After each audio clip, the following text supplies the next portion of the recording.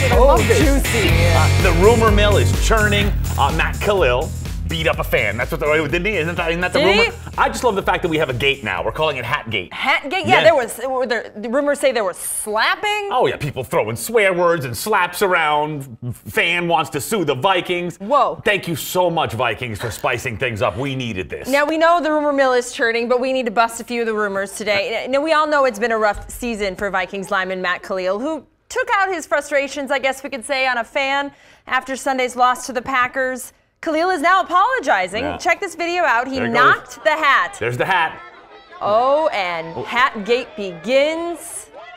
Just like that, he's gone. So the guy was heckling him as he left TCF Bank Stadium. He didn't like it, hit the hat. The incident was caught on video and went viral immediately.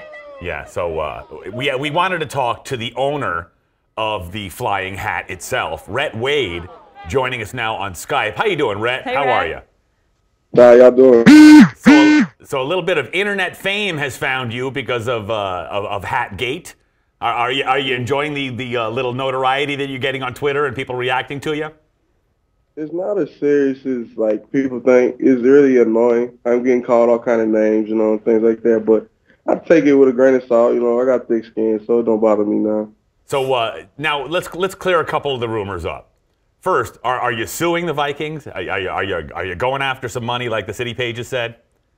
I want to. Trust me. I mean, there's just nothing there. Like if he would have punched me in my mouth, it'd probably be a different story, you know. But it's the just you know knock my hat off my head. So it's nothing serious. You know, live and let live. I ain't tripping. They need to get this W. They could pay me back by getting this W this weekend.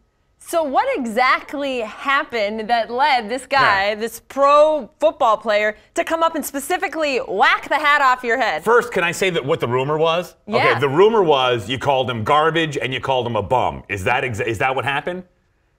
I didn't even say that. I mean, when he walked out, I mean, me and my like my little homie, we just we just watched the game and we just watched him damn near single handedly cost us this game. Right. So Mm. for him to come out, he was like the last person I wanted to see who played for us. So I mean, I kind of like even turned around before that and just try to you know avoid those situation. But when he turned around, all I said was, you know, where do you want to be traded? You know, anywhere but here. Where do you want to go? You know what? That that's it's not like you were asking a question that every Vikings fan isn't asking. True. And I wasn't even trying to be disrespectful and curse towards the man. You know, I just said something very general. And he tried to act like he didn't hear it. He kept going. And he came back, you know, trying to puff his chest out or whatever he's trying to do and, and, and scare me or whatever. But people know me. So, you know, he asked me, you know, repeat what you said. What'd you say? What'd you say? So I told him again. And then he said, F off. Oh, he told you. Oh, he swore it. So he swore at you. Rhett, it wasn't exactly a compliment. So, where are you trying to get traded to? You know what? That's I think that's a great question.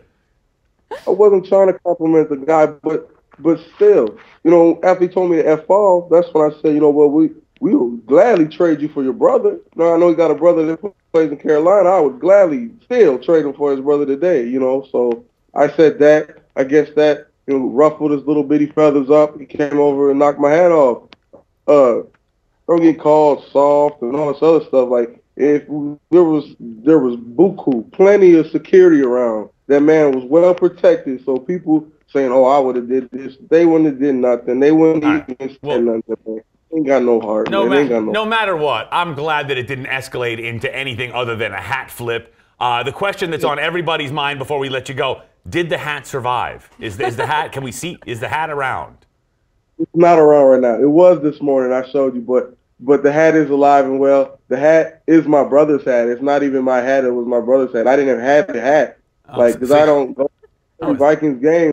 Needed a furry hat. All right. So- So, so the hat has been re- returned to its rightful owner. Oh, good. We And- were very worried. And we have, and we'll put the wraps. uh, Can we put the wraps on this on this hashtag Hatgate? Is it? I mean, the controversy's over. You're not you suing. know how Twitter works. They're just going to keep talking. But at least we here on the fly know the truth. All right. Well, Rhett, we appreciate you sharing the story with us.